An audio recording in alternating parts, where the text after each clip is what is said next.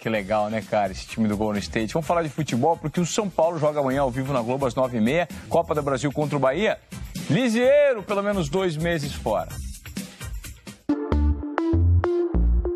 Ouvir um estrangeiro por aqui causa apreensão no São Paulino. Será que já é algum europeu atrás de um dos meninos formados em Cotia? Por que você está no São Paulo? Hoje a gente veio entrevistar o Wagner Mancini, porque a notícia agora na França é que o Silvinho, né, da CBF, assistente do Tite, vai treinar o Lyon na próxima temporada, que é um time importante lá. E o Wagner teve o Silvinho como assistente.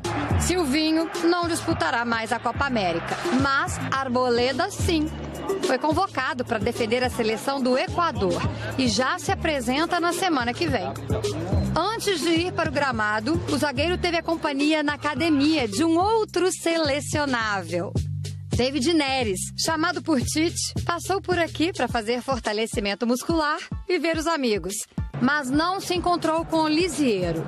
O volante fez exames e já começou o tratamento para entorse no tornozelo direito, o mesmo que o tirou da equipe em janeiro.